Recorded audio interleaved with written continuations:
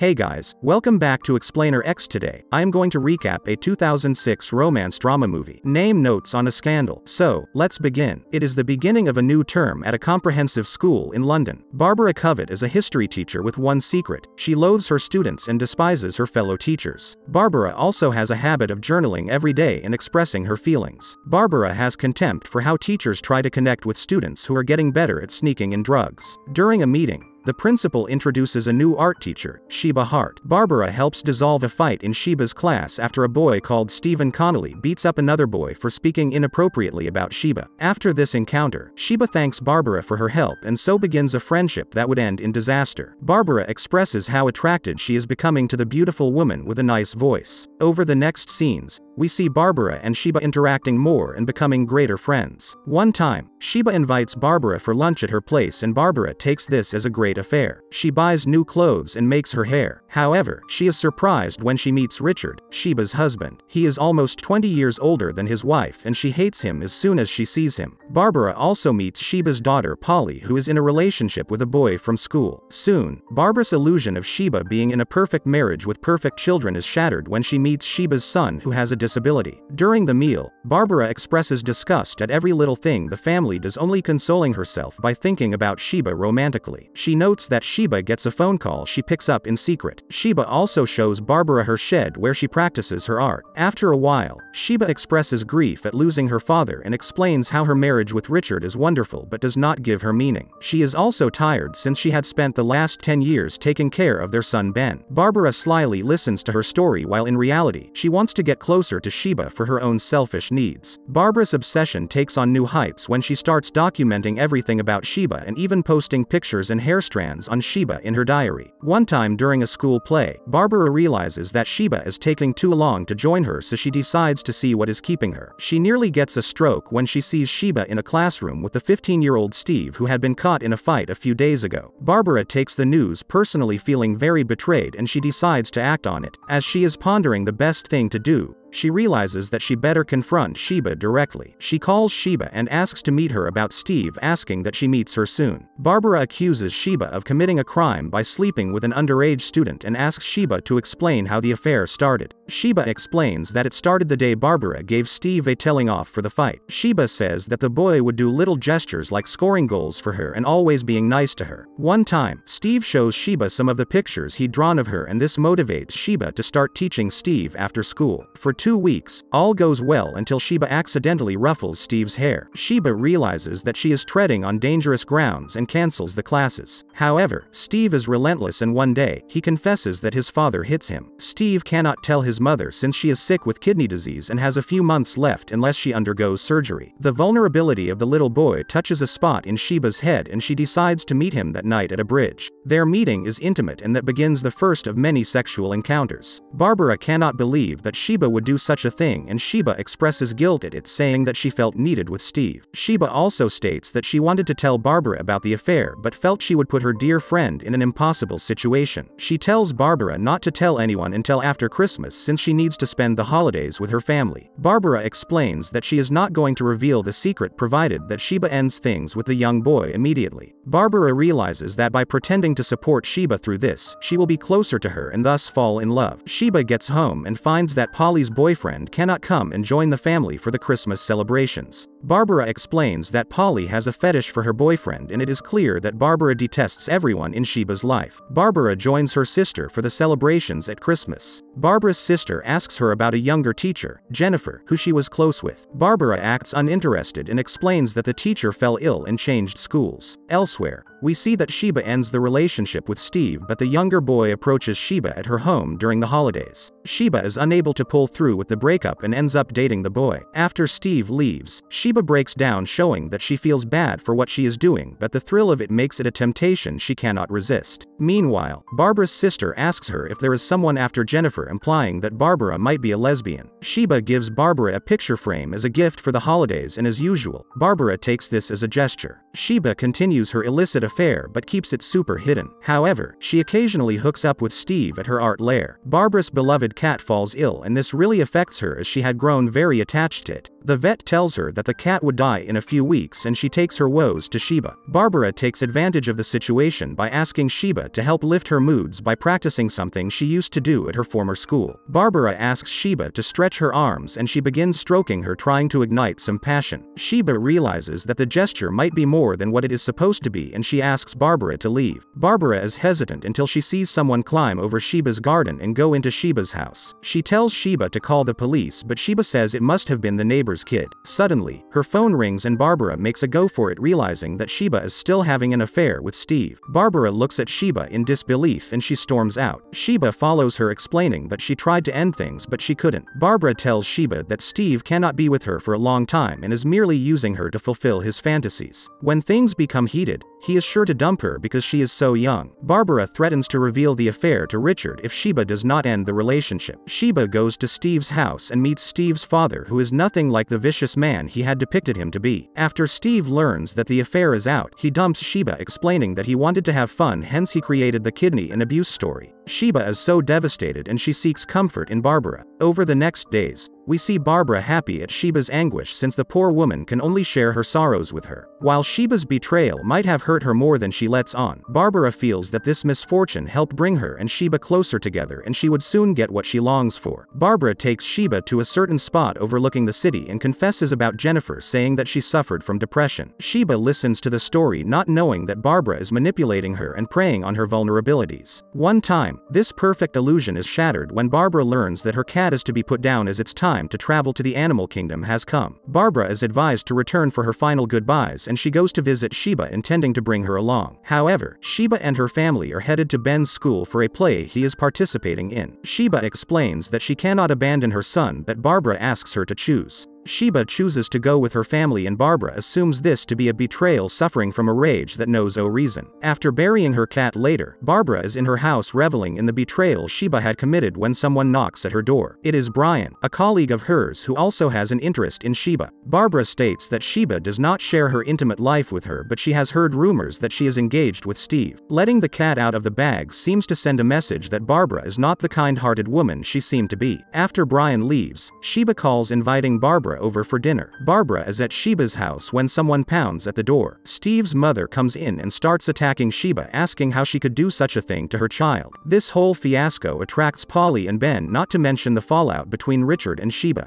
Barbara sits on the sidelines watching it all play out and denying knowledge of the affair. However, her ruse is up when the principal reveals that he knows about Jennifer. Apparently, Jennifer had filed a restraining order on Barbara since she was stalking her and her fiancé. Barbara agrees to resign. She links up with Sheba who is sad thinking that Steve had revealed the affair to his mother. Due to the argument with Richard, Sheba moves out and starts living with Barbara. Barbara explains that the month she stays with Sheba is the best one of her life. She expresses how tempted she has been to have her way with Sheba but she will be patient. The news of the scandal is broadcasted everywhere journalists are camping outside Barbara's house. One day, Barbara is at the market purchasing some supplies when Sheba sees a trail of golden stars and a piece of diary paper in the trash. She starts rummaging through the house and finds the diary revealing that Barbara had been the one to let the affair out. Sheba strikes Barbara when she comes back realizing what a psycho she really is. Sheba gets out but the media bombard her and she gets overwhelmed until Barbara saves her. However, she puts an end to that toxic relationship with Barbara and goes back home. From a newspaper article, we learn that Sheba got 10 months of jail time but might have reconciled with her family. Meanwhile, Barbara meets a young woman at the spot overlooking the city and befriends her inviting her to a concert. Maybe this woman is a predator looking at her next victim. And with this our movie end here.